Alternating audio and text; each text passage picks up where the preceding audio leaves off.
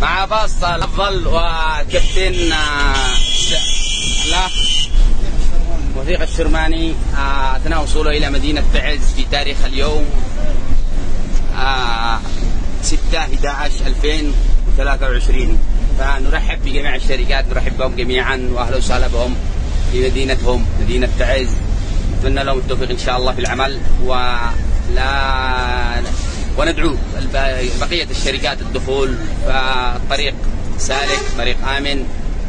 آه، نتمنى من آه، الركاب أيضا التواصل مع مكاتب النقل ومتابعة الحجوزات والرحلات اولا بأول. ونختم الهاشتاج أيضا وتقبلوا تحياتي.